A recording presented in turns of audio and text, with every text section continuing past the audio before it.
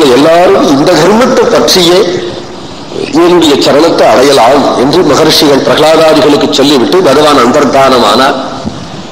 Sugar Prahladan நாரதர் போன்ற மகான்கள்லாம் அத்தகைய பாகவத தர்மமாகிய இந்த பஜன சம்பிரதாயத்தையே லோகத்துக்கு காண்பிச்சார்கள். கதாசிரவணம் நாம சங்கீர்த்தனம் ஸ்மரணம் பாதசேவனம் அர்ச்சனம் வந்தனம் முதலிதான பக்தி மார்க்கம். கலவு பக்தி கலவு பக்தி பக்தியா கிருஷ்ண புரஸ்திதா என்று இந்த பக்தி மார்க்கத்தினாலேயே சுலபமாக பகவானை நாம் அடையலாம். சுலபமாக மனோலயம் ஏற்படும். அதனால கடினமான சாதனங்கள் வேண்டாங்கிறார். அலம் ரதிகி அலம் தீர்த்தைகி அலம் யோகிகி அலம் மகைகி அலம் ஞானகதாலாபிகி பக்தி ரேகைவ முக்திதான் எனக்கு அந்த பலன்லாம் வேணுமே எத்பலம் நாஸ்தி தபசா நயோகேன சமாதினா தற்பலம் லபதே சமய கலவு கேசவ கீர்த்தனாத். என்று இத்தகைய கேசவ கீர்த்தனம் என்கின்ற உத்தக உத்தமமான தர்மம் ஒன்றினாலேயே நமக்கு க்ஷேமம் உண்டு என்று காட்டப்பட்டது ஸ்ரீமத் பாகவதம். மகாபாபியாயிருந்த துந்துகாரி கூட உத்தமகதி அடைஞ்சான் என்று சொல்லி கிமுத சத்தையாகிருடன் சொல்றது போல பக்தி சத்தையோடு யார் பாகவத சிரவணம் நாம சங்கீர்த்தனம் செய்கிறார்களோ அவர்களை பத்தி கழிப்பானே ஆரம்பத்துல சொல்லி அனுஷ்டானத்தை காட்டிலும் உத்தாரணம் முக்கியம் அப்படிங்கிறதுனால எல்லா விதத்திலும் அனுஷ்டானம் பண்ண முடியாத நிலையில தானே லோகத்துல கலியில ஜனங்கள் இருக்கிறார். இவர்களை உத்தாரணம் முக்கியம்னு வரும்பொழுதுதான் நாம சங்கீர்த்தனம் கதாசவனம் க்ஷேத்திர யாத்திரைகள் மகான்களுடைய தரிசனம். இதெல்லாம் நம்மளை கரையேற்றும் அப்படிங்கிறதுக்காக தான் கலியில இதுக்கு பிராதானியம் கொடுத்தே புராணங்கள் பேசுறது.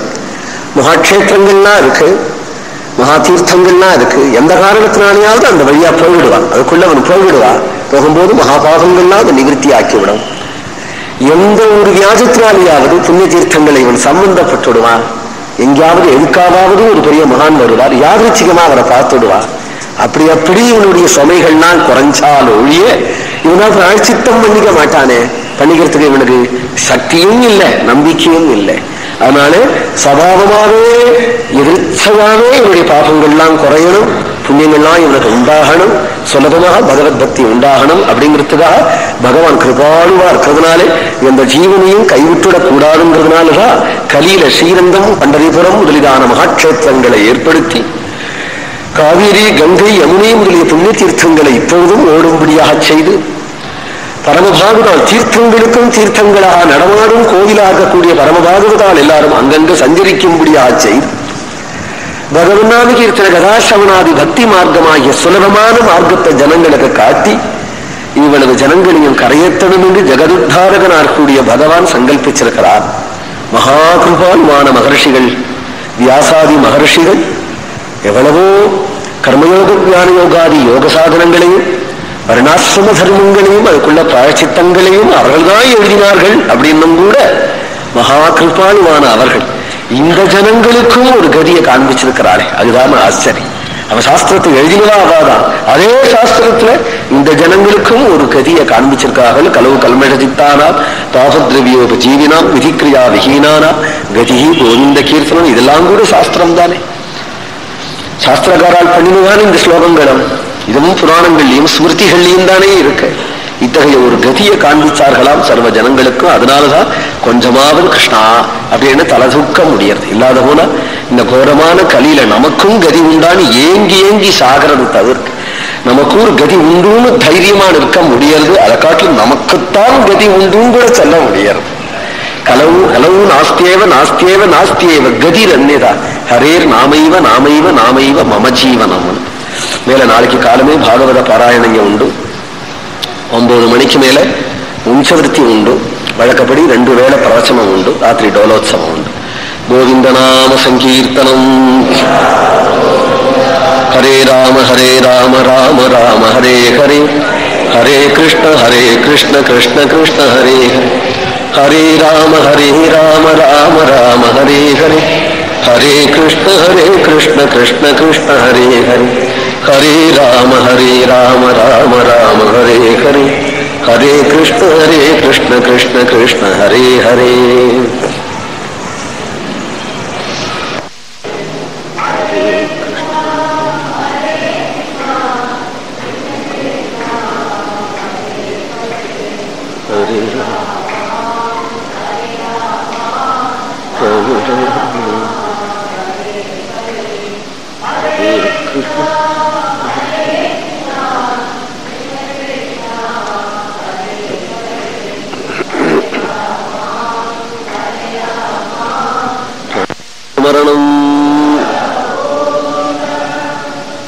सद्गुरु महाराज की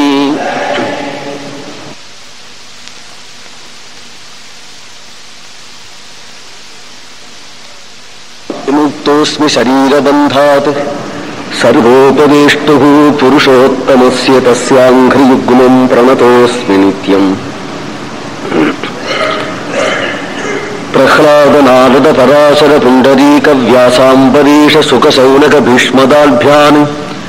रुक्माङ्गदार्जुनवसिष्ठविभीषणादीन् पुण्यानि मान् परमभागवतान् स्मरामि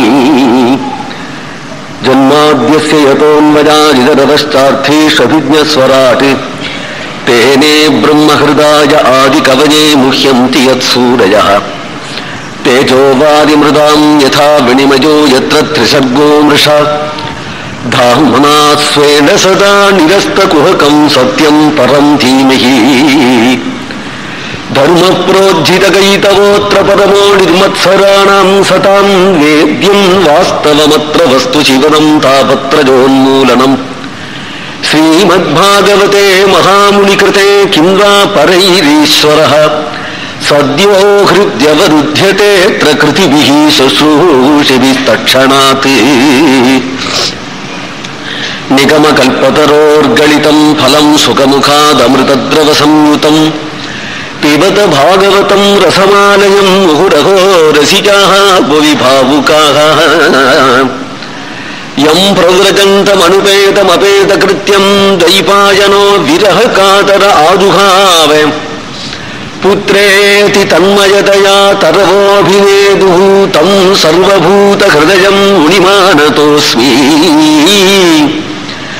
यस्वानुभावमखिलश्रुतिसारमेकमध्यात्मदीपमतितितीर्षताम् तमोऽन्धम् संसारिणाम् करुणयाः पुराणगुह्यम् तम् व्याससूनुमुपजामि गुरुम् मुनीनाम् नारायणम् नमस्कृत्य नरम् चैव नरोत्तमम्। देवीम् सरस्वतीम् व्यासम् ततो जयमुदीरयेत् कृष्णाय वासुदेवाय देवकीनन्दनाय च नन्दगोपकुमाराय गोविन्दाय नमो नमः। नमः पङ्कजनाभाय नमः पङ्कजमालिने नमः पङ्कजनेत्राय नमस्ते पङ्कजाङ्घ्रये। नामसङ्कीर्तनम् यस्य सर्वपापप्रणाशनम् प्रणामो दुःखशमनः तं नमामि हरिम् परम् സ്മൃതി സകലകല്യാണഭാജനം യത്ര ജായതി പുരുഷസ്തമജം നിത്യം വ്രജാമി ശരണം ഹരിം ഗോപികാ ജീവനസ്മരണം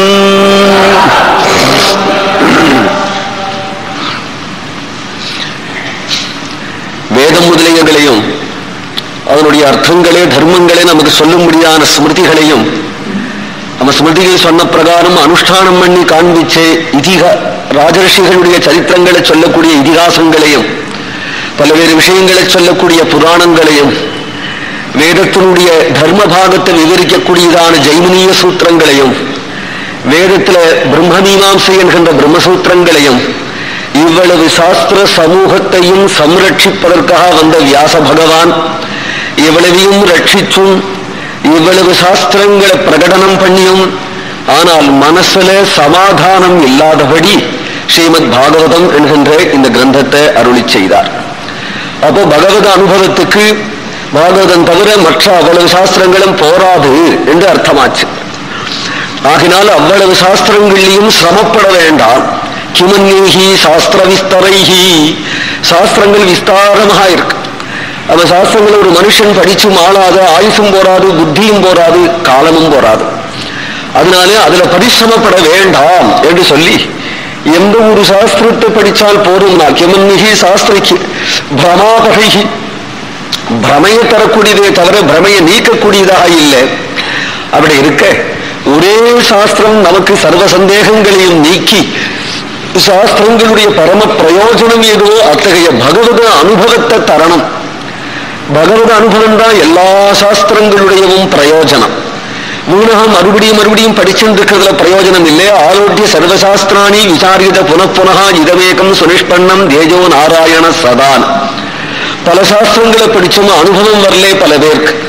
ஒன்றும் படிக்காத எங்கேயோ இருக்கக்கூடிய ஒருவன் அனுபவத்தினுடைய உச்சி வரையிலும் போயிடுறான். அப்போ சாஸ்திரங்கள் படிச்சு சமப்பட வேண்டாம். ஆனால் ஏகம் பாகவதம் சாஸ்திரம் முக்திதானேன கர்ஜதி என்று பாகவதம் என்கின்ற ஒரே சாஸ்திரம் போரும் நம்முடைய நம்ம சம்சார பந்தங்களிலிருந்து நீக்கி இங்கேயே பூர்ணமான பகவத அனுபவத்தை கொடுத்து வச்சு விடுறது சம்சார பந்தத்திலிருந்து நீக்கின்னு சொன்னால் எங்கேயோ போய் மோட்சத்தை அடையிறது அப்புறம் கேட்டோம். இங்க இவ்வளவு பந்தங்கள் நிர்பந்தமா இருக்கும் பொழுது கூட ஆனால் நம்ம சுதந்திரமா வச்சு விடுறது பாகவதம். இங்கேயே அந்த பகவத அனுபவத்தை கொடுத்து விடுறதானால் அத்தகைய அனுபவத்தை நமக்கு தரணும் என்கின்ற பரமகிருபாளுவான சாட்சாத் நாராயண கலாவதாரமா இருக்கக்கூடிய வியாசாச்சாரியார் மற்ற சாஸ்திரங்களை எழுதினதுனாலே சாஸ்திரங்களை பிரகடனம் பண்ணினாலே மனசுல சமாதானம் இல்லாதபடி ஆனால் பகவத்குண அனுபவ பிரதானமாகக்கூடிய ஸ்ரீமத் பாகவதத்தை அருளி செய்த பிறகுதான் பூர்ண சந்தோஷத்தை அடைஞ்சார் என்று சொல்கிறார் அதனாலே பாகவதத்தினுடைய பிரதம ஸ்லோகத்திலேயே எல்லாரையும் கூட்டிக் கொண்டு கிருஷ்ண தியானம் பண்ணுவோம் என்கிறார் சத்தியம் பரம் தீமகி எல்லாருமாக கிருஷ்ண தியானம் பண்ணுவோம் என்கிறார். கிருஷ்ண தியானம் தான் சர்வசாஸ்திரங்களுடையவும் பிரயோஜனம் என்று நிர்ணயம் பண்ணியிருக்கிறதுனாலே எல்லாரும் கிருஷ்ண தியானம் பண்ணுவோம். ஏன் கிருஷ்ணனை தியானம் பண்ணணும் என்றால் கிருஷ்ணன் தான் சத்தியமான நித்தியமான சாஸ்வதமான பொருள். அதனாலே சத்தியம் பரம் தீமை அழியாத சாஸ்வதமான பொருளுக்குத்தான் ஒருத்தனை ஆசைப்படுவனே தவிர அழியக்கூடிய பொருள் ஆனால் பகுப்பிரயாச. பகுப்பிரயாசப்பட்டு ஆனால் அல்பத்தை அடைய அடைகிறவன் புத்திசாலி அப்படின்னு சொல்லலாமோ? பிரயாசையே இல்லாம சாஸ்வதமான பொருளை அடைகிறவன் தான் புத்திசாலி என்று சொல்லணும். பகுப்பிரயாச இருக்கு சம்சார விஷயங்களுக்கு. சம்சார விஷயங்கிறது இப்பொழுது லோகத்தில் நான் எதை கண்டதே காட்சி கொண்டதே கோலம்னு அனுபவிக்கிறோமோ இதுதான் சம்சார விஷயம் நினைச்சுக்க வேண்டாம். பிரம்மலோக பரியந்தம் சம்சாரம்.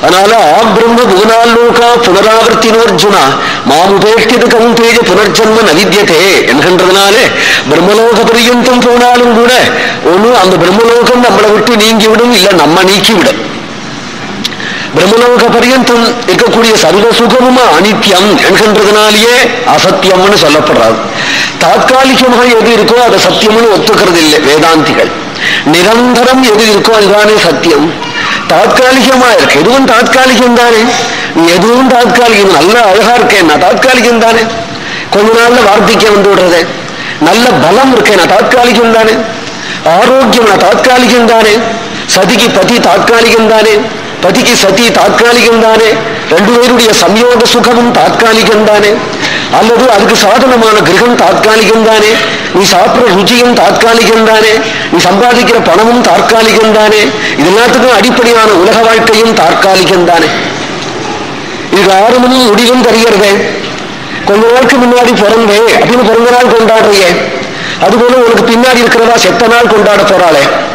அதனால பிரி பிரிவிக்கும் சாவுக்கும் மத்தியில இருக்கிற நாட்களை சாஸ்வதம்னு எப்படி நினைக்க முடியும்? தாற்காலிகம் தானே தாற்காலிகம் உலகம் தாற்காலிகம் ஜீவனம் தாற்காலிகம் ஜீவனத்தில் அனுபவிக்கக்கூடிய சுகங்கள் எல்லாம் தாற்காலிகம் எது சாஸ்வதமானதுனால் கிருஷ்ண சரணம் ஒண்ணுதான அதுதான் சாஸ்வதமான அதனால சத்தியம் பரம் தீமிகி அந்த சாஸ்வதமான கிருஷ்ணச்சரணத்தை அடையாத வரையிலும் தாற்காலிகமான லாபத்தை அடைஞ்சு அதனால என்ன நிம்மதி கிடைச்சிட போறது கையில கிடைச்சது கூட ஆஹா என்று சந்தோஷமா அதை வாங்கிக்கலாம் அடுத்த க்ஷணம் மறைஞ்சு போயிடுறதே உலகத்தில் நீ எதை அனுபவிச்சாலும் தாக்காலிகமா இருக்கிறதுனால விவேக்கிகளான பெரியவர்கள் இதை தள்ளுறார்கள். சீச்சின்னு தள்ளுறார்கள். ஆனால் எது சத்தியமாக இருக்கோ அதை ஆசைக்கணும் என்று சொல்லுகிறார். அத்தகைய கிருஷ்ண சரணத்தை தியானம் பண்ணுவோம்னு. அந்த கிருஷ்ண சரணத்தை தியானம் பண்ணினாதான் நம்முடைய ஹிருதயத்தில் உள்ள சர்வ தாபங்களும் நீங்குங்கிறதுனால அவன் தியானம் அழிக்கிறார். அந்த கிருஷ்ண சரணமானது நித்தியம் சாஸ்வதமானது அதுதான் பரபிரம்மம். அந்த பரமாத்மாவை அனுபவிப்போம் பரமாத்மாவை அடைவோம்னுகிறார். அந்த பகவான் ஒருவன் அந்த பரமாத்மா ஒருவன் இருக்கிறான் அப்படிங்கிறதுக்கு என்ன நிதர்சனம்னா நீ இருக்கியே. நீ இருக்கியே அதுவே நிதர்சனம். ஏனால் பிம்பம் இல்லாது போனா பிரதிபிம்பம் இருக்காதே. கிருஷ்ணன் இல்லாது போனால் நீ இருக்க முடியாது நீ ஒருத்தன் இருக்கியே. உலகம்னு ஒண்ணு இருக்க. இந்த உலகம் யாரால இருக்கு? அவன் இல்லாது போனால் உலகம் இல்லை அவன் இருந்தா உலகம் இருக்கு. எத்திர திரிசர்கோ மிருஷா என்று சொல்லுது. இந்த உலகம் இருக்குன்னு உனக்கு தெரியுது இல்லையா? அப்போ அவன் இருக்கிறான். இந்த உலகத்துக்கு ஆதாரம் அவன் தான் அவன் இல்லாதபடி உலகம் இருக்காது. அப்படிங்கிறதுனாலே ஜன்மாத்தியச சுவதி இல்லாம சித்திரம் எழுத முடியாது. ஆகினாலே ஜகத்துக்கு ஆதாரமான ஒரு பொருள் இருக்கு. அந்த பொருள் தான் இந்த ஜகத்து தோன்றுகிறது.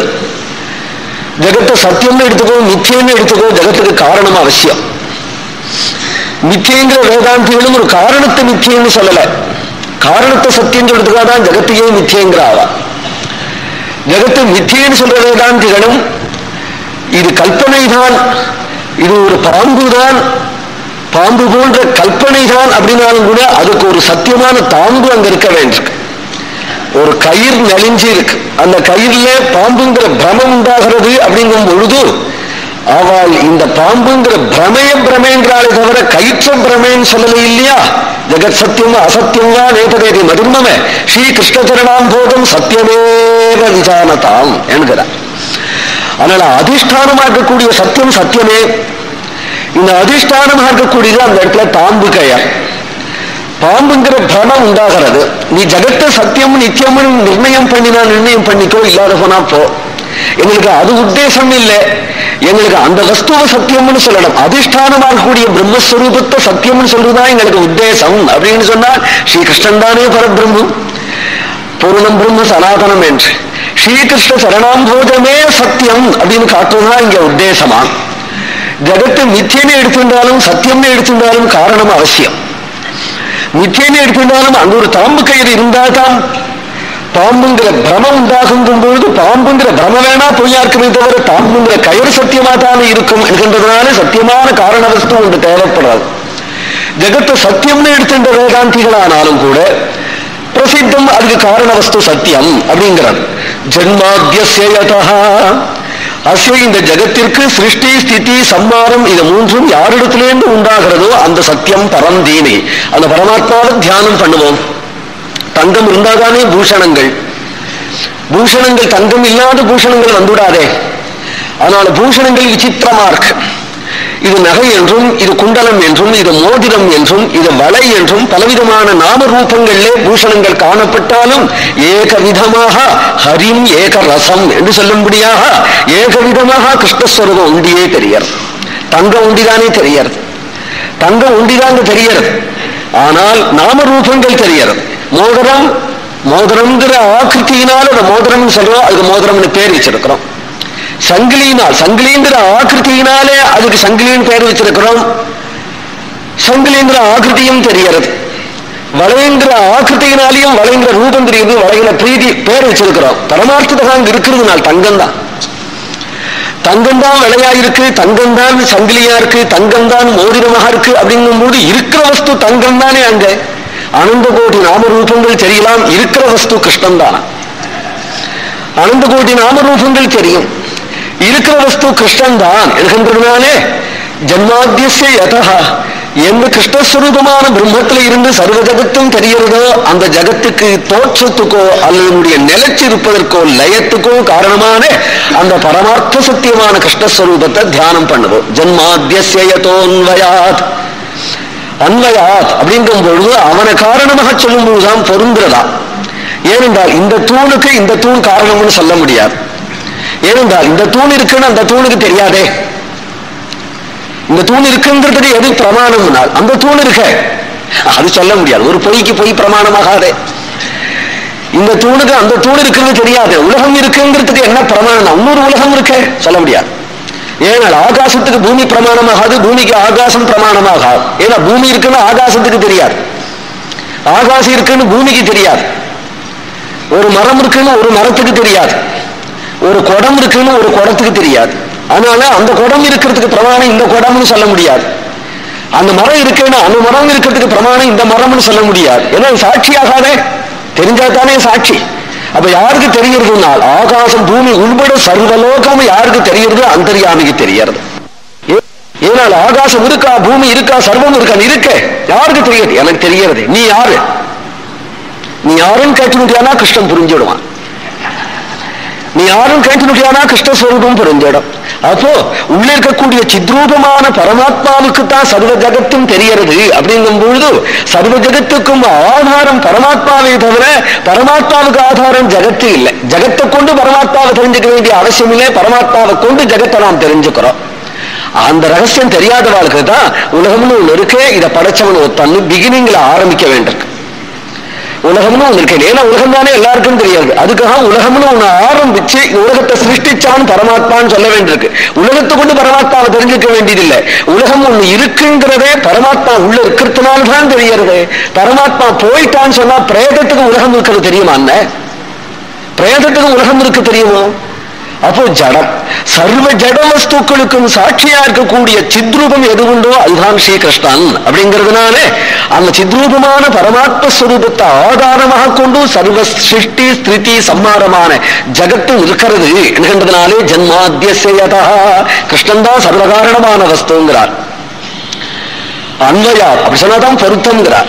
இதரதஸ்தே அன்வயாது இதரதஸ்தே அந்த பரமாத்மாவே ஜெகத்காரணமான வஸ்து அப்படின்னு சொல்லும் பொழுது வேற ஒரு காரணத்தை சொன்னா அது பொருந்தலை. பரமாத்மாவை காரணமா சொன்னா தான் பொருந்துறது அப்படிங்கிறதுதான் அந்தயம் எதிரேக்கம். அல்லது காரிய வஸ்துக்கெல்லாம் காரணத்துல லயமாகிறது இது எதிரேகம். காரணத்திலிருந்து காரிய வஸ்து உண்டாகிறது அன்வயம் பரமாத்மாவினிடத்தில் இருந்து பிரகிருதி உண்டாகிறது நேச்சர் இயற்கை சபாவம் மாய. அதுல இருந்து ஆகாசம். ஆகாசத்தில் இருந்து காற்று காற்றில் இருந்து தீ தீயில் இருந்து தண்ணீர் தண்ணீரில் இருந்து நிலம் நிலத்துல இவ்வளவு செடி கொடிகள் பசு பட்சிகள் மனுஷர்கள் தேவர்கள் என்கின்ற சிருஷ்டி கிரமத்தை சொல்லுவோமானால் ஆரம்பத்துல பரமாத்மாவே இருந்தான் என்றும் அவனிடத்துல படிப்படியா சிருஷ்டியை சொல்லிட்டு வரும். இது அன்வயம் வெதிரேகம்ங்கிறது காரியம் காரணத்துல பிரவேசிக்கிறது. சர்வநாம ரூபங்களும் மண்ணில லயமாகி மண்ணு பிரளய ஜலத்துல கரைஞ்சு பிரளய ஜலம் பிரளயாக்னியில வறண்டு பிரளயாக்னி பிரளய காற்றுல அணைஞ்சு பிரளய காற்று ஆகாசத்துல ஒடுங்கி ஆகாசம் அவ்யக்தத்துல ஒடுங்கி அவ்யக்தம் ஆளிலை மேல படுத்துருக்கிற கிருஷ்ணா வயத்துள்ள ஒடுங்கி. கடைசியில எதுனால் தனக்கு ஒடுங்கிறதுக்கு இடம் இல்லாம படுத்துட்டு இருக்கு அந்த குழந்தை. ஏகோ விஷ்ணு மகத்பூதம். எல்லாத்தையும் தான் சாப்பிட்டுட்டு தான் மட்டும் மிச்சப்பட்டதாகி சச்சிதானந்த ஸ்வரூபம் தான் கிருஷ்ணன். பிரளய ஜலம் அதுல ஒரு ஆளிலே அதுல ஒரு குழந்தை. புராணம் புரியிறாப்புல சொல்லும். உபனிஷத்து புரியிறாப்புல சொல்லாது. சத்து சித்து ஆனந்தம். சத்து அப்படிங்கிறது என்னன்னா அதுதான் பிரளய ஜலம். சித்துங்கிறது ஆள் இலை ஆனந்தங்கிறது அதுல படுத்து குழந்தை. கடைசியில் எது மிச்சப்பட்டது சத்து சித்து ஆனந்தம். அதுதான் மிச்சப்பட்டது மூணு சேர்ந்து பிரம்மஸ்வரூபம். அதுதான் மிச்சப்பட்டது. அதுல மற்றவைகள் எல்லாம் லயமாயிடுத்துன்றதுனாலே கடைசியில எதிரேகமா சொன்னாலும் பிரம்மஸ்வரூபத்துல தான் லயம். எல்லாத்துக்கும். சிருஷ்டி கிரமத்தை சொன்னாலும் பிரம்மஸ்வரூபத்திலிருந்துதான் சர்வமும் சிருஷ்டியாகிறதுங்கிறதுனால அன்வயாதி இதரதஸ்ட அர்த்தேஷு அபிஜா அப்படி பிரஜான மாத்திரமா இருக்கக்கூடிய நிர்குணமான நிராகாரமான பிரம்ம தத்துவம் மட்டிலும் போராதான் ஜெகன் நிர்வாகத்துக்கு. அது இருக்கு அப்படின்னு மட்டும்தான் சொல்லலாமா? அஸ்தி தேவோபலப்தவ்யா என்று உபனிஷத் சொல்றது. அது இருக்குன்னு மட்டும்தான் சொல்லலாம். ஆனால் உபயோகம் எதனாலே அப்படின்னு கேட்டனால் ஜெகன் நிர்வாகம் பண்ணணுமானால் நிர்குண பிரம்மத்தால ஆகாது. ஜெகன் நிர்வாகம் பண்ணணுமானால் ஜீவாத்மாவாலேயும் ஆகாது. ஜெகன் நிர்வாகம் தனக்குத்தானே பிரிதியை பிரகிருதியாலேயும் ஆகாது. பிரகிருதி ஜடமா இருக்கிறதுனாலே தனக்குத்தானா நிர்வகிக்க முடியாது. ஜீவன் உதாசீனனா இருப்பதுனாலே தனக்குத்தானே எதையும் செய்ய மாட்டான் அவன் பிரம்மம் நிர்குணமாயிட்டதுனாலே அதுக்கு ஒரு காரியம் பண்ணணுங்கிற சங்கல்பமே வராது. அதனால யார் தேவைப்படுதுனா கிருஷ்ணன் தான் வரணுமா?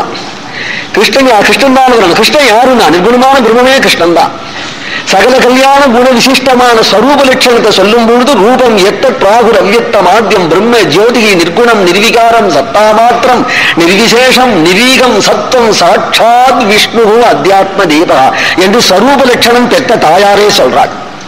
பெற்ற தாயாரான தேவிகையே கிருஷ்ணனை பார்த்து நீ நிர்குணம் எவ்வத்தம் பரஞ்சோதிகி என்று சரூப லட்சணமாக கிருஷ்ணனை சொல்றாள் இதெல்லாம் சரூப லட்சணத்தை சொல்றது. அந்த சரூபமே எந்த சரூபம் பரஞ்சோதியாய் நிராகாரமாய் நிர்குணமாய் சித்ரூபமாய் கூட்டஸ்தமாய் சர்வகாரணமாய் எந்த ஒரு சரூபம் பிரஜான மாத்திரமாக இருக்கோ அதே சரூபம் சர்வஜனாய் சர்வசக்தனாய் சர்வசுவாமியாய் சர்வகர்த்தாவாய் சர்வநியாமகனாய் சர்வ கர்ம பலப்பிரதனாய் சர்வ சரண்யனாய் நித்திய முக்தனாய் நிஜானந்த ஸ்வரூபனாய் இருக்கக்கூடிய ஸ்ரீகிருஷ்ணன் என்கின்ற சகல கல்யாண குண விசிஷ்டனாய் தோன்றுகின்றார். சகல கல்யாண குண விஹித்தனாய் சர்வ கர்ம சர்வ சர்வ கர்மாவாய் சர்வகந்தனாய் சர்வரசனாய் சத்தியசங்கல்பனாய் இத்தியாதி சமஸ்த கல்யாண குணங்களோடு கூடியவனாய் இருந்தால்தான் ஜெகன் நிர்வாகம் பண்ண முடியுங்கிறதுனால முதல்ல சர்வூப லட்சணத்தை கொண்டு பிறகு அவனுடைய கல்யாண குணங்களை நமக்கு நிரூபிக்கிறார். இப்போ ஜன்மாத்தியதா அன்வயாது இதரதஸ்ட அர்த்தேஷு அபிஜ்யா என்கிறார். அபிஜ்யா சர்வஜன் சிருஷ்டியாதி காரியங்களிலே சர்வஜனா இருக்கக்கூடியவன். சர்வசக்தன். சர்வஜனா இருப்பதனாலேயே சர்வசக்தன். எல்லாவற்றையும் செய்யணுமானா அது தெரிஞ்சவன் தானே செய்ய முடியும். பாக்கி யார் செய்ய முடியும்? இது எல்லாவற்றையும். எல்லாவற்றையும் செய்யணுமானால் சர்வசக்தனா இருந்தா தானே முடியும். இந்த ஒரு பில்டிங் கட்டணுமானால் இந்த விஷயம் தெரிஞ்ச இன்ஜினியரிங் படிச்சிருந்தாலே இது முடியும். ஒரு லோகத்தை கட்டணுமானால் அப்ப லோக நிர்வாகனா இருக்கணுமானால் அவன் எத்தகைய சர்வசக்தனா இருக்கணும்? அத்தகைய சர்வசக்தன அர்த்தேஷு அபிஜா சர்வசக்தனாய் சர்வஜனாய் இருக்கக்கூடிய அவன் சர்வேஸ்வரன். ஏன் ஜெகத் சிருஷ்டி பண்றான்? தன்னுடைய உபயோகத்துக்கா பிறருடைய பிரேரணைக்கா? தன் உபயோகத்துக்கு அப்படின்னு சொன்னான் ஆனால் அவன் நிஜானந்த ஸ்வரூபன் இல்லை. ஏனால் தனக்கு தித்திக்கிறது நான் வெள்ளத்தை போட்டுண்டாதான் தித்திக்கும் அப்படின்னு சொன்னால் தித்திப்பு வெள்ளத்தினுடைய அபேட்சையில் இருக்கு. ஆனால் இவன் தனக்குத்தானே தித்திக்கிறவன். வேற ஒரு வஸ்துவால சுகப்படணும்னு அவசியம் இல்லை தன்னுடைய பாதத்துல உள்ள சின்ன விரலை தனக்குத்தானே வாயில போட்டுக்கொண்டு சப்பு குட்டின்னு இருக்கிறவனுக்கு தேன் வேற தனியா இந்த குழந்தை வாயில தடவ வேண்டிய அவசியம் இல்லை அது என்ன செய்யறதுன்னா தன் ஆனந்த அனுபவத்துல இருக்குன்னு காட்டுறதுதான் பிரளய காலத்துல இருந்த பரபிரம்மத்தை அப்படி காற்று வேற வஸ்துவை எடுத்துன்னு விளையாடுற சர்வ லீலோபகரணங்களை விட்டுட்டு ஜெகன் நிர்வாகம் பண்ணணும் அப்படிங்கும் போது சங்கு சக்கரம் கதா பத்மங்கள்லாம் வச்சுன்றது ஜெகன் நிர்வாகம் பண்ணினது எல்லாத்தையும் மூட்டை கட்டி எரிஞ்சு விட்டு இல்ல விளையாட்டு சாமான்கள் லீலோபகிரிகளா எதை வச்சிருந்தானோ அது எல்லாத்தையும் விட்டு அவதாரத்துல கையில் வச்சிருக்கிற சாமான்களையும் விட்டு தனக்கு லீலோபகரணமாக எந்த வஸ்துவையும் தேவைப்படாம யாரையும் லீலிக்குன்னு வச்சுக்காம ஆனால் தன்னுடைய குஞ்சு பாதத்தில் உள்ள ஒரு விரல் என்னுடைய சர்வ ரசத்துக்கும் போதுமானது அப்படின்னு அனுபவிச்சென்று படுகின்றானால் சிஷ்யத்தே சேஷ சந்தியான்னு தான் மட்டிலும் மிச்சப்பட்டு தன்னை தானே அனுபவிச்சிருக்கிற நிலையத்தானே அதை காட்டுறது. அனுபவத்துக்கு வேற வஸ்துவை தேவைப்படாது. தன்னைத்தானே அனுபவிச்சிருக்கிற நிலைதான் பேரானந்தமான நிலை. அந்த பேரானந்தமான நிலையில உள்ள ஒரு வஸ்துவுக்கு ஜகத்தினுடைய சிருஷ்டியாதி இந்த காரியத்துக்கு என்ன பிரயோஜனம் சொல்ல முடியாது. அவனுடைய பிரயோஜனத்துக்காக சிருஷ்டியாதி காரியங்களை செய்யலை. ஏன்னா நிஜானந்த ஸ்வரூபம் பிறருடைய பிரேரணைக்காக செய்கிறான் அப்படின்னு சொன்னால் அவனை தவிர பிற வஸ்துவே அங்க இல்லை அப்படிங்கிற ஒரு காரணம். பிறருடைய பிரேரணைக்கு இவன் செய்ய மாட்டான். என்றால் சர்வ சுதந்திரனா இருக்கிறதுனால. இவனை பிரேரணை செய்ய இன்னொரு ஆள் இருந்தானா அப்ப அவனை ஈஸ்வரன் சொல்லணும். ஆனால் ரெண்டு மூணு ஈஸ்வரால் இல்ல. சயேகா என்று அவன் ஒருவனே அப்படிங்கும் பொழுது அவனை போய் இதை செய் அப்படின்னு சொல்றவன் உன்னுத்தன் இல்லாததுனாலே ஜெகத் சிருஷ்டிக்கு பிரேரணையும் காரணம் இல்லை. ஜெகத் சிருஷ்டிக்கு உபயோகமும் காரணம் இல்லை. பிறகு நான் லீலா மாத்திரமே என்கின்ற காரியமாக செய்ய போறேன். ஜன்மாத்தியதோன்வயாதிதரதர்த்தேஷு அபிஜா ஸ்வராட். சுதந்திரமான பொருள்ங்கிறத சொல்றார் ஸ்வராட் அவன் ஸ்வராட் சுதந்திரமானவன். சர்வத்தையும் சிருஷ்டி பண்றதுனாலே சர்வகர்த்தா. சிருஷ்டி பண்ற சக்தி இருக்கிறதுனாலே சர்வசக்தன். சிருஷ்டி பண்ற விதம் தெரியறதுனாலே சர்வஜன் சிருஷ்டி பண்ணப்பட்ட எல்லா பொருளும் அவனுடைய சொத்தா இருப்பதனாலே சர்வசுவாமி.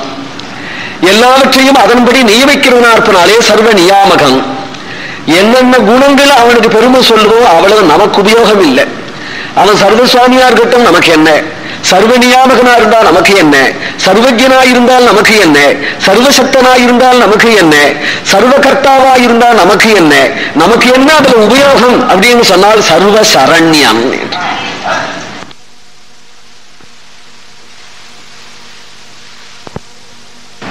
எல்லாவற்றையும் அதன்படி நியமிக்கிறவனா இருப்பனாலே சர்வ நியாமகம் என்னென்ன குணங்கள் அவனுக்கு பெருமை சொல்லுவோம் அவ்வளவு நமக்கு உபயோகம் இல்லை அவன் சர்வசுவாமியா இருக்கட்டும் நமக்கு என்ன? சர்வ நியாமகனா இருந்தால் நமக்கு என்ன? சர்வஜனா இருந்தால் நமக்கு என்ன? சர்வசக்தனா இருந்தால் நமக்கு என்ன? சர்வகர்த்தாவா இருந்தால் நமக்கு என்ன? நமக்கு என்ன அதுல உபயோகம்? அப்படின்னு சொன்னால் சர்வ சரண்யம்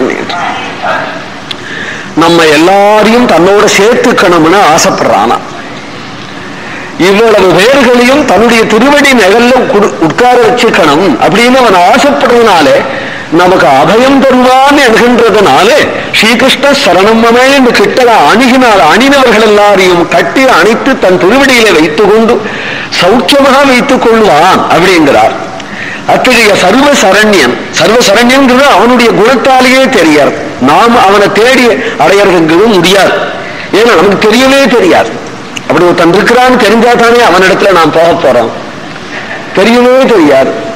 தெரியாதுங்கிருக்கும் பொழுது அவனா வந்து நம்ம இடத்துல நான் இருக்கேன்டா வாடா அப்படின்னு கூப்பிட்டால் ஒழிய நாம் அவனிடத்துல போக முடியாது. கோடி ஜனங்கள் பகவானிடத்திலிருந்து விலகி நிற்கிறார்கள் லோகாயத்தர்களாக. சில பேர் இல்லவே இல்லை கடவுள் இல்லைன்னே சொல்றார்கள். இது ஒரே ஒரு காரணம் அவள் தயனீயர்கள் அவளை கண்டு தான் சோச்சிய சோச்சானு அப்படின்னார். அவர்களை நினைத்து நம்ம நினைத்து கண்டு நாம் பெற சந்தோஷம் வேற. ஏன்னா நமக்கு கிருஷ்ணன் இருக்கிறான்னு தெரிஞ்சு கொடுத்து. அது மட்டும் இல்லை அந்த கிருஷ்ணன் தான் நமக்கு ஆசையம்னு தெரிஞ்சு கொடுத்து. நமக்கு நாமாவா தெரிஞ்சது? நமக்கு நாமாவாத்த சத்தியமா கேட்கிறேன். நமக்கு நாமாவா தெரிஞ்சது? நாம எல்லாரையும் போலதான் இருந்தோம். குருநாதன் வந்து நம்மளை கையை பிடிச்சு இழுத்து வேண்டும் கையை பிடிச்சு இழுத்து உனக்கு கிருஷ்ணன் இருக்கிறாடான்னு காண்பிச்சு விட்டான்னு அதனால நமக்கு தெரிஞ்சு கொடுத்து. மற்ற கோடி ஜனங்களுக்கு அந்த குரு கிருப்பை இன்னும் பிராப்தமாகலையே என்று நினைத்து அதனாலே தான் சோச்சிய சோச்சாரு அவர்கள் துக்கப்படுறதை நினைத்து நாம் கண்ணீர் விட்டு ஐயோ அவர்களுக்கும் சத்சங்கம் கிடைச்சுட்டா எப்படி இருக்கும்? அவர்களுக்கும் குரு கிருப கிடைச்சுட்டா எப்படி இருக்கும்னா அந்த கிடைக்கிற பரியந்தம் தான் அவர்கள் கிருஷ்ணன் யாரோ தான் யாரோன்னு இருப்பாளே தவிர என்றைக்கோ எப்பொழுதோ ஒரு நாள் சத்தியமாய் எந்த ஜீவனுக்கும் குரு கிருப கிடைக்கவே போகிறது. அப்படி கிடைக்கும் பொழுதோ அப்ப என்ன நினைப்பானால் ஆஹா தன்யோகம் தன்யோகம் என்று நினைத்து இந்த அருமையான பாக்கியத்தை அப்போ அவன் அடைய போறான். அடைய போகிறான்ங்கிறார் பகவான் தன்னைத்தானே தெரிவிச்சுட்டால் ஒழிய நாமா தெரிஞ்சுக்க முடியாதான் தாமரா சுவேனசதா நிரஸ்த கோகம்னு பின்னாடி சொல்ல போறார். தன்னைத்தானே தெரிஞ்சு தெரிவிச்சுக்கணும். அனாதி அவித்தியினாலே மோகிச்சிருக்கக்கூடிய இந்த ஜீவகூட்டிகள் எல்லாருக்கும் தன்னை பத்தி தானே தெரிவிச்சுக்கணும் என்று நினைத்து கொண்டுதான் தேனே பிரம்மகிருதா ய ஆதி கவயே முதல் முதல் தன்னை பத்தி தானே தெரிவிச்சுக்கணும் என்கின்ற கிருப்பையினால்தான் பகவான் வேதத்தை அல்லது பாகவதத்தை பிரம்மதேவனுக்கு முதல் முதல் கொடுத்தார். அத்தியனம் அத்தியாபனங்கிற கிரமத்துல கொடுக்கலையாம். லோக சாதாரணமா பார்த்தோமானால் ஒருத்தர் சொல்லி வைக்கிறார் ஒருத்தர் சொல்லிக்கிறார் அப்படிங்கிற ரீதியில் தானே பாகவதம்? சொல்லிக்கிறார் சொல்லி வைக்கிறார் ரீதியில் தானே வேதம் உபனிஷத்து முதலிய சாஸ்திரங்கள்? அப்படித்தானே அவசியமில்லே? சர்வேஸ்வரன் நமக்கு கொடுக்கும் பொழுது. ஏன்னா துருவனுக்கு அப்படி பாடம் சொல்லி தரலையே. துருவனை இப்படி போய் தொட்டான் அவனுக்கு எல்லாம் தெரிஞ்சு கொடுத்தேன் அதுபோல பிரம்மதேவனுக்கு அது எல்லாம் தெரியட்டும்னு சங்கல்பிச்சான் ஹிருதா. ஹிருதயத்தாலேயே பிரம்மதேவனுக்கு கொடுத்தார் என்கிறார் பிரம்மதேவனுக்கு எல்லாம் தெரிஞ்சு கொடுத்து தேனே பிரம்மஹிருதாய ஆதி கவையே முஹ்யந்தி யத் சூரயகாகா பகவானுடைய அருள்னால வரக்கூடிய ஞானம் தான் தெளிஞ்சு இருக்கும் என்கிறார் காரணம் என்னன்னா புஸ்தகத்திலிருந்து ஞானத்தை அவன் தேடாம தனக்கு கிடைச்சுட்ட ஞானத்தை புஸ்தகத்துல பார்க்கிறான் இப்படி ஒண்ணு உண்டு எல்லாருக்கும் படிச்சுதான் ஞானம். சில பேருக்கு ஞானம் வந்து கொடுத்தோ புஸ்தகத்துக்கு எடுத்தாட விஷயம் இருக்கு என்று நோட் பண்ணிக்கிறான் வேலை. அவர்தான் வேலை. அவருக்கு ஞானம் வந்து அப்படி சில பேர் பகு பேர் புஸ்தகத்தாலே ஞானத்தை தேடுறவா சில பேர் ஞானம் வந்து புஸ்தகத்தை பிரமாணமா எடுத்துக்கிறவா எனக்கு தெரியும்னு சொல்றது நாகரிகம் இல்லை. பாகவதத்துல சொல்லியிருக்கு அப்படின்னு சொல்லிவிட்டா நாகரிகம். எல்லாருக்கும் சம்மதம். எனக்கு தெரியும் அப்படின்னு சொல்லிட்டா எல்லாருக்கும் சம்மதமாகாது. பாகவதத்துல சொல்லியிருக்கு அப்படின்னு சொல்லிட்டா எல்லாருக்கும் சம்மதமாகும். பாகவதத்துல சொல்லியிருக்கு அப்படிங்கிறது தனக்கு தெரிஞ்சு எடுத்து ரொம்ப விசேஷ அதிகாரிகள் அப்புறம் இருக்கட்டும். சாமானிய அதிகாரிகளே சாமானிய அதிகாரிகளுக்கு ததாமி புத்தியோகம்னு பகவான் கொடுத்திருக்கிறான். கொடுக்காம இல்லை. அதனாலதான் நமக்கு சமஸ்கிருதம் தெரியட்டும் தெரியாத போகட்டும் இதிகாச புராணங்கள் தெரியட்டும் தெரியாத போகட்டும். பௌராணிகால் நம்முடைய ஹிருதயத்துக்கு விரோதமா சொன்னாலா கூட அப்படி சொல்லியிருக்க போனதுக்கு அப்படின்னு சத்புருஷால் நினைக்க மாட்டான். உடனே அவன் மனசே என்ன சொல்லும்? நம்ம கஷ்டம் ஒண்ணும் இப்படி இல்லை. இவர் தப்பா சொல்றார். அப்படிம்போ. அவர் அவ்வளவு படிச்சிருக்கிறார். எதுல கேட்கிறவனுக்கு அவ்வளவு படிப்பு போடாத. படிச்சவர் தப்பா சொல்றான்னு இவன் சொல்றானேனால் இவனுக்கு ஞானம் இருக்கு அவருக்கு படிப்பு இருக்கு. இவனுக்கு ஞானம் இருக்கிறதுனால நம்ம பகவானை பத்தி அவர் தப்பா சொல்றாரு வேற யாரிடத்துலயாவது கேட்கணும். எழுந்து எழுந்து போயிடுவோம் இல்ல சொல்றதுனால மன்னிச்சு விடுவோம். அவரை எதிர்த்து பேசக்கூடாது. நம்ம பெரியவா சொல்றா விட்டுடு. அதுல நம் ஹிருதயத்துக்கு எது ஏத்துக்கிறதோ அதை மட்டும் எடுத்துக்கோ. என்று நினைப்பார். பொறுமையா? இல்ல அது ஏற்கனவே எடுத்துக்கொள்ள ஏற்கிறதுக்கே விஷயமே அவர்கிட்ட இல்லைன்னா எழுந்து போயிடுவான் ஏற்கிறாப்புல விஷயம் இருந்ததானா அதுக்காக பொறுத்துன்னு இருப்பான் சில பேர் அந்த ஒரு ரெண்டு விஷயத்துக்காக பொறுத்துன்னு இருப்பான்னு எழுந்து போயிடுவான் ஏதோ ஒண்ணு ரெண்டு ஹிதா இருக்கணும் எல்லாம் ஹிதமா இருக்கணும். சொல்ற வார்த்தை எல்லாம் ஹிதமா இருக்கணும். அப்படின்னா தான் உத்தம ஸ்ரோதா உட்காருவான் அவனுக்கு உத்தரோத்தரம் மேலும் மேல அபாரா அபாரா என்று நிறைஞ்சு கேட்கிறாப்புல பகவத்குணம் வரணுமானா? அது புஸ்தகத்திலேருந்து வராது. குரு கிருப்பையால் தான் வரணும். சத்சங்கத்தால் தான் வரணும். சம்ஸ்காரத்தால் தான் வரணும். பக்தினால் தான் வரணும். அத்தகைய பக்தினால வரக்கூடிய ஞானம் அவரவர்களுடைய லெவலுக்கு இருக்கு. ஏனால் பிரகலாதாதிகளுடைய ஞானம் எத்தகையது? அத்தகைய அனுபூதிமான்களுடைய ஒரு எந்த ஞானத்தை ஆதாரமாக கொண்டிருக்கும் பொழுது வித்யங்கிறது அவர்களுக்கு பிரவச்சனத்துக்காகவே தவிர ஞானம்ங்கிறது அவளுக்கு ஏற்கனவே வந்துடுத்தே அந்த ஞானம் பகவத் கிருப்பையாலேயே வந்ததால் பகவத் கிருப்பையாலே வரக்கூடிய ஞானத்தை சொல்றார் தேரே பிரம்ம ஹிருதாய ஆதி கவையே பிரயாசையால வந்த ஞானத்துல மோகத்தை சொல்றார் முஹியந்தி யத் சூரையா பிரயாசப்பட்டு சம்பாதிச்சுட்டோமானால் அதுல மோகம் இருக்கும். புரியலேங்கிறது இருக்கு பகவத் கிருபையால வந்ததானால் அது தெளிவா இருக்கும் முஷ்யந்தி யத் சூரையா. பிரயாசப்படுறவர்கள்லாம் தன் பிரயாசைக்கு தக்க ஞானத்தை அடைஞ்சு அதுக்கு மேல பிரகாசம் தெரியாம திணறானே அதை பிரம்மதேவனுக்கு லவலேசம் பிரயாசம் இல்லாதபடி ஹிருதா தன்னுடைய சங்கல்ப மாத்திரத்தினாலேயே பிரம்மதேவனுக்கு ஞானம் கொடுத்தார். அதனால பிரதம பாகவதர் பிரம்மா. ஸ்வயம்பூ நாரத சம்பு குமாரஹா கபிலோ மனு என்ற பாகவத சம்பிரதாயத்தில் ஸ்வயம்பூ என்கின்ற முதல் பாகவதோத்தமர் பிரம்மா. அதனால்தான் பிரம்மதேவனுடைய பக்தியை சொல்றார் என்னுடைய சித்தம் என்னுடைய சங்கல்பம் நிச்சயான பிரயோஜனமற்ற சங்கல்பம் எதுவுமே எனக்கு கிடையாது. எதை நான் சங்கல்பிச்சேனோ அதை சத்தியமாகிறதுத்தான் நான் பார்த்துட்டு இருக்கேன் அதுதான் என்னுடைய சிருஷ்டி வேலை. ஆனால் நான் சங்கல்பிக்கிறதெல்லாம் நடக்கிறது. நடக்கிறதுக்கு காரணம் என்னன்றது எனக்கு தெரியும். என்மே ஹிருதோத்கண்டியவதா திருதோ ஹரிஹீர் பரம பிரேமையோடு கிருஷ்ணனை நான் தியானம் பண்ணிட்டு இருக்கிறதுனால அசத் சங்கல்பமே எனக்கு வரதில்லை சத் சங்கல்பமே வருது.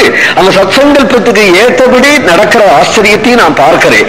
அப்போ பகவானுடைய லீலை இங்க பார்த்துட்டு இருக்கிறதை தவிர கர்த்தா நான் இல்லைங்கிறார் இல்லையா பிரம்மா? நான் எவ்வளவு விசித்திரமான சிருஷ்டி பண்ணி விட்டேன் பார் அப்படின்னு சொல்ல வேண்டியிருக்கு.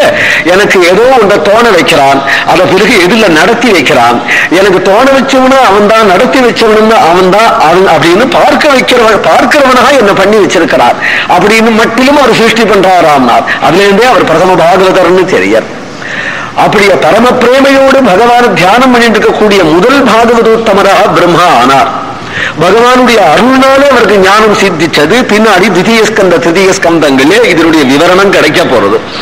தேனே பிரம்மஹிருதாய ஆதி கவயே முஹ்யம் தியத் சூரய தேஜோ வாரி மிருதாம் யதா வினிமஜோ எத்திர திரிசர்கோ மிருஷா.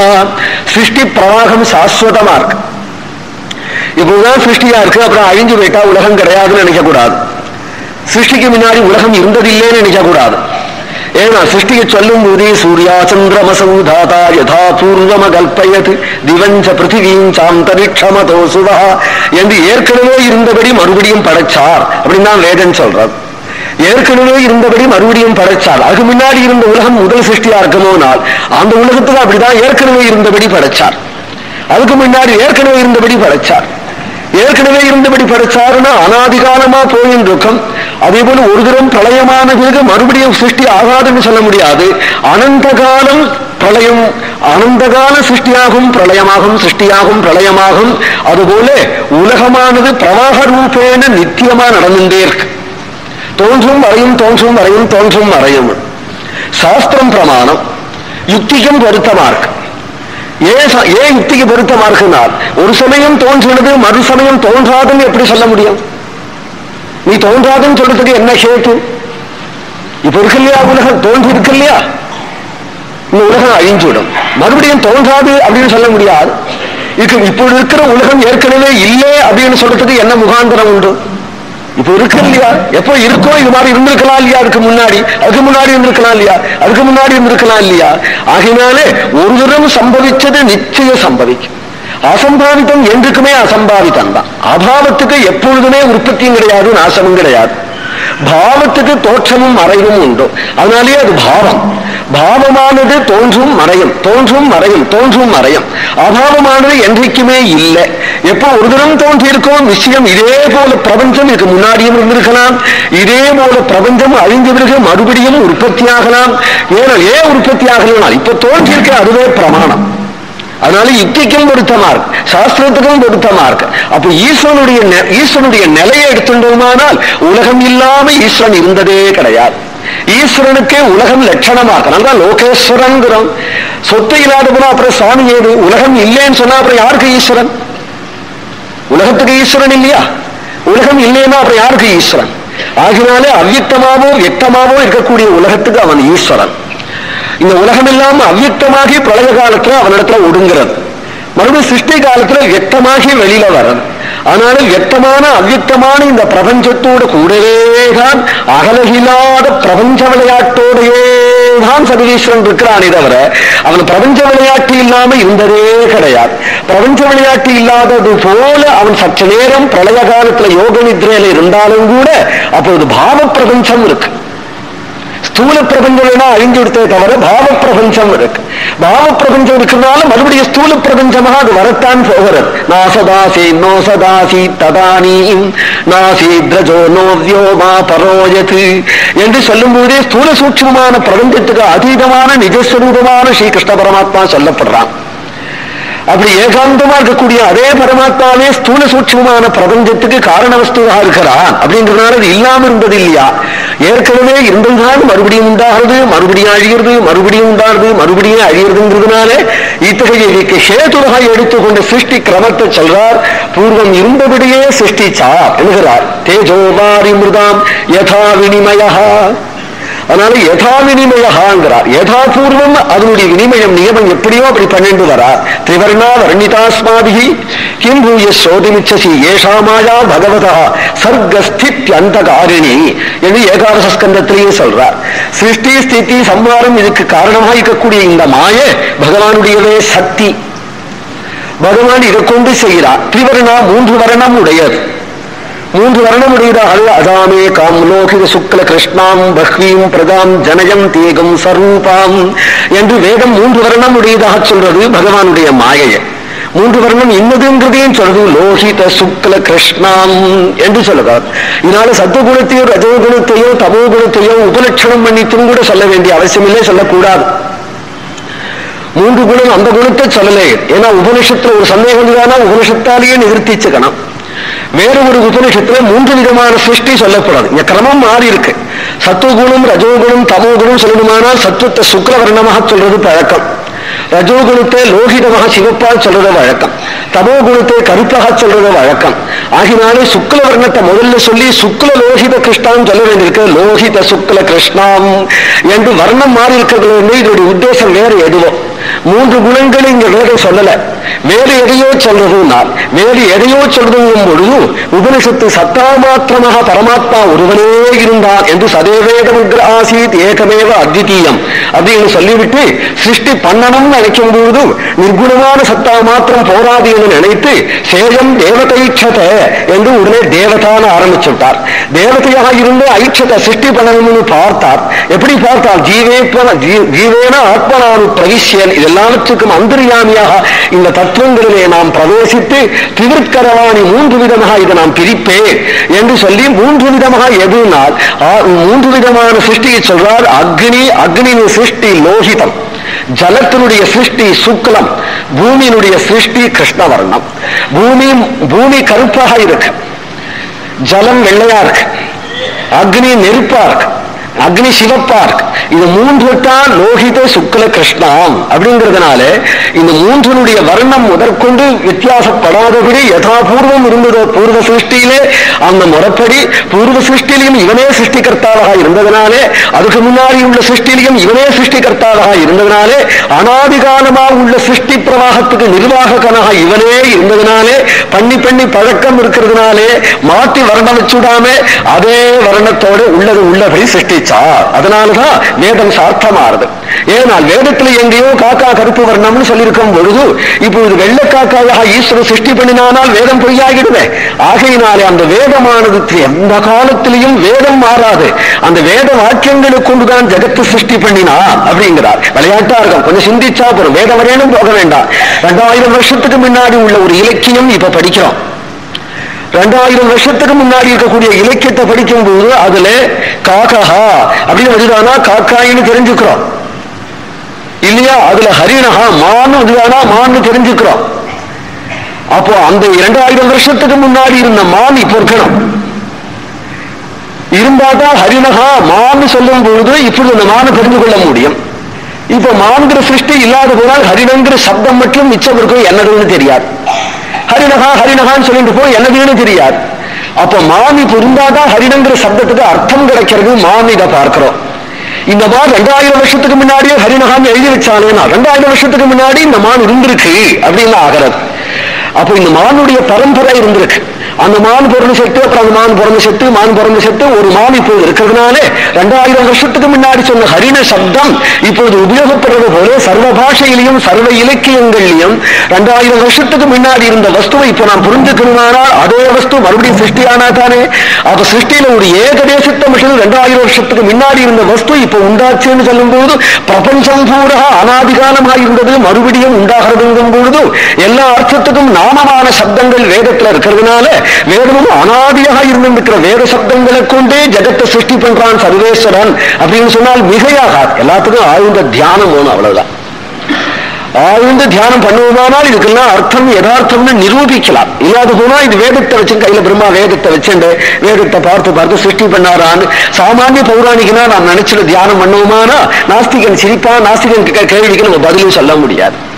ஆழ்ந்த கருத்தோடு பார்த்தாமல் வாக்கும் அர்த்தம் பிரிஞ்சதே கிடையாது. எந்த அர்த்தம் இருந்தாலும் அதுக்கு வாக்கு உண்டு. எந்த ஒரு வஸ்துவை எடுத்தாலும் ஒரு டப்பியும் எடுத்துட்டா டப்பிங்கிறது அதுக்கு வாக்கு. டப்பிங்கிறத ஆக்கிருக்கு நாமமும் ரூபம் பிரிஞ்சதில்லை வாகர்த்தாவிவ சம்பிருத்தவு என்று காளிதாசனும் சொன்னான் நாமமும் ரூபமும் பிரியறதில்லை. ரூபம் இருந்தாலே அதுக்கு ஒரு நாமம் உண்டு. நாமத்தை உச்சரித்தால் ரூபம் இல்லாத போனா பிரயோஜனம் இல்லை. என்றால் ஒரு நாமத்தை காயும் சத்தம் கொடுக்கிறான். அதுக்கு ரூபம் இல்லாத போனா பத்து பேர் பத்து விதமா சப்தம் கொடுத்தாலும் விஷயம் புரியாதே. சப்தத்தை பத்து பத்து விதமா போட்டாலும் ஏனால் பாஷையோடு பேசினா தானே விஷயம் புரிகிறது. பாஷை பூரா ஒரு அர்த்தத்தை வச்சிருந்தானே இருக்கு. அந்த பாஷை இல்லாம அர்த்தம் அடைக்க முடியாதே. அதனால ஒரு குயவன் ஒரு பானை பண்ணணும்னு நினைக்கும் பொழுதே அவனுக்கு பானை பண்ண வேண்டும் அப்படிங்கிற சங்கல்பம் எந்த மொழியில உண்டாகிறது? அந்த சங்கல்பிச்சதுதானே ஒரு பானைங்கிற ரூபமாக ஆச்சு. இந்த ரூபத்துக்கு முன்னாடி நாமம் இருக்கு. பானை பண்ண வேண்டும்ங்கிற சங்கல்பம் இல்லையா? அந்த சங்கல்பத்தில் அந்த நாமம் இருக்கு இல்லையா? அந்த நாமத்தினுடைய ஆதாரத்தில் தான் ரூபம் கற்பிக்கப்படுமானால் ஈஸ்வரனே சங்கல்பிக்கிறார். சோகாமயத்தே அவன் சங்கல்பிச்சான். ஜகத்தினால் இப்படி நாம ரூபங்களாலே ஜகத்தை வியாகிரவாணி அவ்யாகிருதமான இந்த பிரபஞ்சத்தை வியாகிருத பிரபஞ்சமாக ஆக்குவே நாமானி ரூபாணி விசித்திய தீரகா என்று பலவிதமான நாம ரூபங்களை நான் சிருஷ்டிப்பேன் அப்படின்னு ஈஸ்வர சங்கல்பிச்சானால் ஈஸ்வர சங்கல்பம் எந்த பாஷையில உண்டாச்சு? அப்ப ஈஸ்வரனுக்கும் ஒரு பாஷை இருக்கு இல்லையா? அதுதான் வேதம். அந்த ஈஸ்வரனுக்கும் உள்ள பாஷைதான் வேதங்கும் பொழுது நாமரூபங்களை கொண்டே நாமரூபங்கள் நாமங்களை கொண்டே ரூபங்களை சிருஷ்டி பண்ணினார். ரூபங்களுக்கு ஆதாரமான நாமங்கள் அவர் ஹதயத்துல இருக்கு. ஒரு ஸ்டூல் அப்படிங்கிற நாமம் இருந்தாதான் ஸ்டூலுடைய ரூபத்தை சிருஷ்டி பண்ண முடியும்.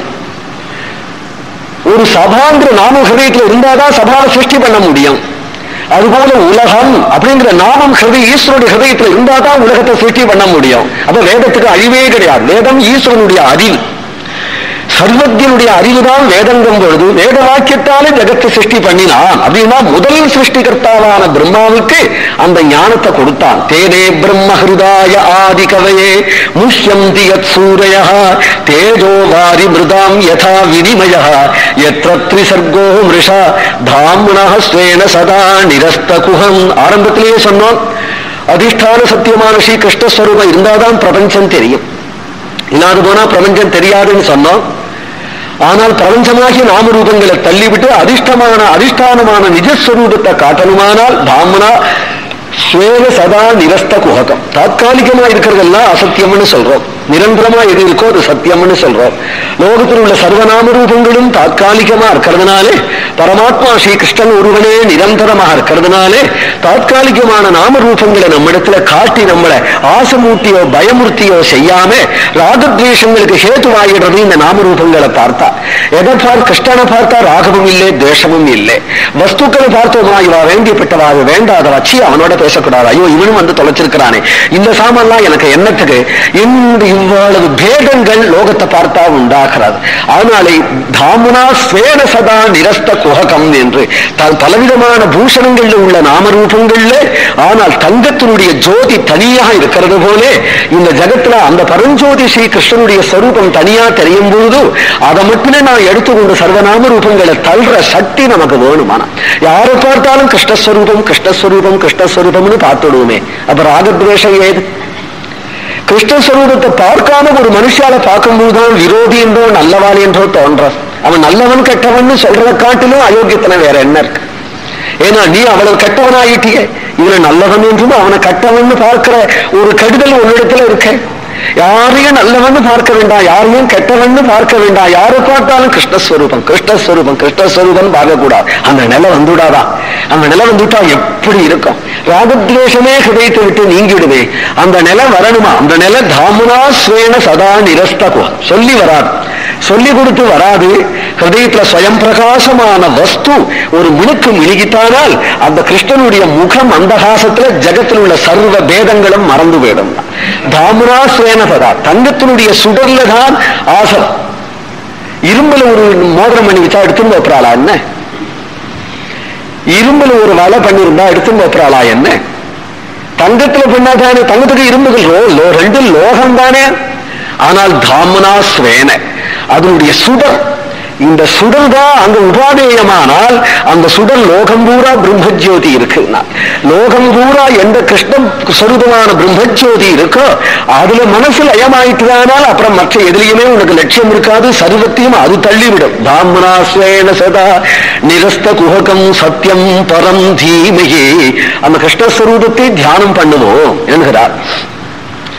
கேவலம் ஞானம் மாத்திரம் போராது ஞானம் சித்திக்கணுமானா தியானம் வேணுங்கிறதுனாலதான் சர்வ உபனிஷத்தும் பக்தியை பிரேரணை பண்றது உபாசனம் பண்ணுன்னு சொல்றது ஞானம் மட்டும் போராது உபாசனம் வேணுங்கிறதுனாலதான் உபாசனம் பண்ணாத போனா ஞானம் நிற்காது என்னதான் பிரம்ம சத்தியம் ஜெகன் மித்யான்னு சொல்லி நிற்காது அது பிரகாசிக்கணுமே பிரகாசிக்கணுமானால் தியானம் வேணும் எவ்வளவுக்கு தியானம் பண்ணணுங்கிறதுனால ஞானம் சித்திக்காததுக்கு காரணம் நம்முடைய பிராரப்தம் என்றும் அந்த பிராரப்தம் என்கிறவர்கள் ஞானம் சித்திக்காது என்று நினைச்சு அந்த பிராரப்தத்தை நீக்கி நம்முடைய ஞானம் சித்திக்கணுமானால் அதுக்கு உபாசனம் வேணும் என்றுதான் நிர்ணயம் பண்றார் மூன்றாவது அத்தியாயத்துல பிரம்மசூத்திரம் மூன்றாவது அத்தியாயத்துல அதனால ஆவருத்தி ரசகிறது உபதேசா அப்படின்னு இந்த சூத்திரம் அனவரத்துக்கும் ஆவர்த்தி பண்ணிட்டு இருக்கணும் நீ வந்து சரீரம் இல்லை ஆத்மஸ்வரூபம் தான் ஒரு தரம் சொன்னதுனால மட்டும் ஞானம் வந்திருக்கும் பட்சத்துல அந்த சுவேதகேதுங்கிற பையனுக்கு மறுபடியும் மறுபடியும் தத்துவமசி தத்துவமசின்னு ஆவர்த்தி பண்ண வேண்டிய அவசியம் இல்லை தத்துவத்தன் தன்மை அசின்னு சரூப லட்சணத்தை காண்பிச்சதம் உடனே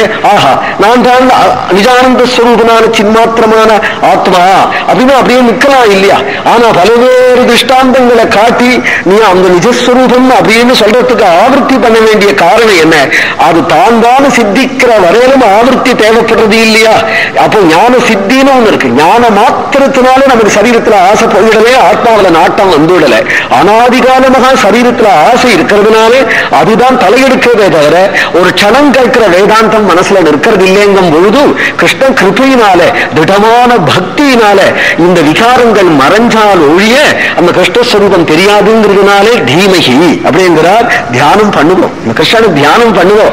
கிருஷ்ணனை தியானம் பண்ணி தியானம் பண்ணி தியானம் பண்ணி அந்த கிருஷ்ணன் தன்னுடைய மாயா ரூபங்களை காட்டாதபடி நிஜ ரூபத்தை காட்ட மாயா ரூபத்தை காட்ட காட்டினா பார்க்க முடியுமோ? விஸ்வமும் அவனுடைய ரூபம்தான். ஆனால் தேனைவ ரூபேன சதுர்புஜேன சகஸ்திரபாகோ பவ விஸ்வமூர்த்தே விஸ்வரூபம் அவன் ரூபமா இருந்தாலும் என்னால பார்க்க முடியலையே. அதுல பயம் உண்டாகவே துக்கம் உண்டாகவே நடுக்கம் உண்டாகவே இருக்கிறதுக்குள்ள தைரியசாலி நான் தான் போரும் போரும் விஸ்வரூபம். நீ அந்த மந்தகாச வதனனாக முண்டாசும் தலையுமா கையில சாட்டையும் குதிரையினுடைய கடிவாரத்தை பற்றும் சகே குருநந்தனா அர்ஜுனா என்று கொஞ்சி கூப்பிடுற ரூபம் உண்டு.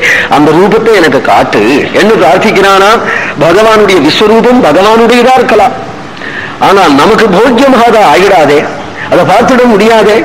அதனால பகவானுடைய மங்கள ரூபத்தை நாம் தியானம் பண்ணுவோம் என்கிறார் சத்தியம் பரம் தீமிகின் தர்ம புரோஜித கைதவோத்திர பரமோ நிர்மத்சராணாம் சதாம் வேத்யம் வாஸ்தவமற்ற வஸ்து சிவதம் தாபத்ரஜோன்மூலனம் ஸ்ரீமத் பாகவதே மகாமுனி கிருதே சிந்தா பரைரீஸ்வர சத்யோ ஹிருத்யவருத்தியதே கிருதிவிகே சுஸ்ரோஷிபிஸ்தக்ஷணாத் தியானம் பண்ணுவோம்னு பூர்வ ஸ்லோகத்துல அடுத்த ஸ்லோகத்துல தியானம் எப்படி சித்திக்கும்ங்கிறத சொல்றான் ஞானம் எப்படி சித்திக்கும் அப்படின்னு சொன்னால் உடனே யமம் நியமம் ஒன்று ஒன்றும் பத்து பத்து இருக்கு. யமம் நியமம் அப்புறம் ஆசனம் பத்து பன்னெண்டு இருக்கு.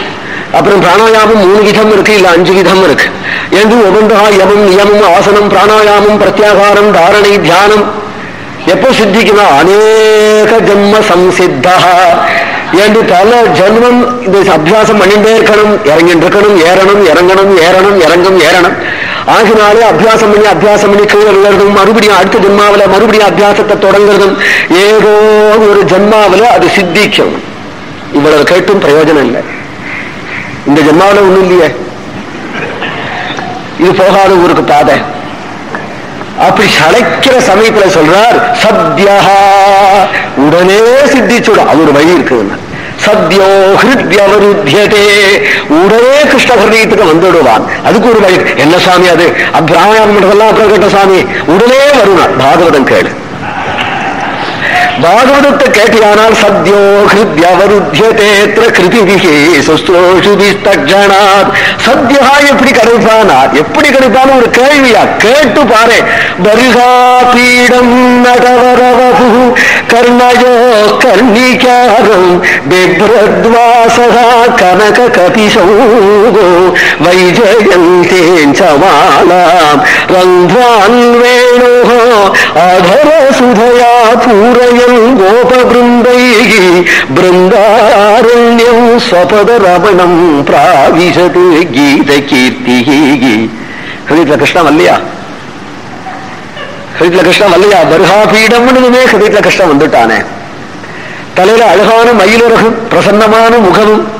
காதுகள்ல கர்ணிகார புஷ்பமும் கழுத்துல வைஜீந்தியமாலையும் இடுப்புல பீதாம்பரமும் திரிபங்கி லலிதாகாரணா வியத்தியஸ்த பாதாரவிந்தனாக மோகன முரளீதரனாக நிற்கக்கூடிய சரூபத்தை பார்த்தா கிருஷ்ணாத்தரம் கிமதி தத்துவனகம் நஜானேனார் மதுசூதன சரஸ்வதி பாதாளம் வம்சீ விபூஷிதகராதி நவநீரதாபாதி பீதாம்பராத் அருண பிம்ப பலாதர் இவ்வளவு சிம்பிளா இருக்கேனா ஐயா இதான் ஐயா உபனிஷத்து இதான் உபனிஷத்தை. சிரமமா இருந்தா தான் உபனிஷத்துன்னு நினைக்கிற மாதிரி இது புரியாது. ஏன்னா உபனிஷத்துனாலேயே கஷ்டப்படணும்னு நினைச்சுக்கிறா கஷ்டப்படுத்தணும்னு நினைச்சுக்கிறா. சுலபமா வேதாந்த சொல்லிட்டா அதனுடைய வேல்யூ போயிடும். வேதாந்தம் வேதம் தானே தெரிஞ்சுக்கணும். வேதாந்தம் தானே தெரிஞ்சுக்கணும்னா யார் சொல்றானா பரம வேதாந்தியான அத்வைத சித்திகாரா கூடிய மதுசூதன சரஸ்வதி. எவாடா தம்பி உனக்கு வேதாந்தம் சொல்றேன்டா. ஏன்னா இவர்தான்டா வேதாந்தம். வம்சி விபூஷித கராது நவநீரதாபாத் பீதாம் இது ஒண்ணும் வேதாந்தம் இல்லை. போ கஷ்டப்படு.